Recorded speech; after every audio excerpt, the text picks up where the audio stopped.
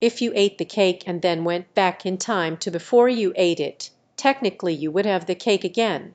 However, it is important to remember that time travel is purely hypothetical and not possible at the moment.